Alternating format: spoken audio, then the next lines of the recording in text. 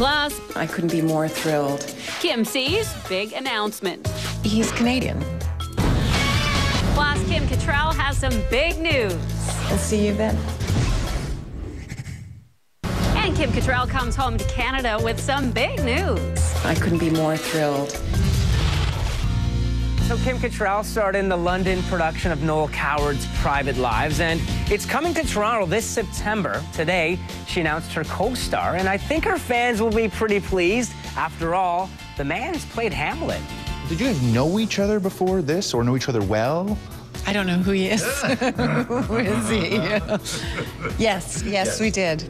Yes, we did. No, we didn't know each other. Well, we knew of we each had never met. Okay, that's Oh, that's right. to know. No, we had never met. We we met through. Lies, We start like again. lies, like everything. we start again. no, we can't start again. Seems like a match made in showbiz heaven. Paul and Kim, Canadian list toppers for all things talented and hot. I met her in New York.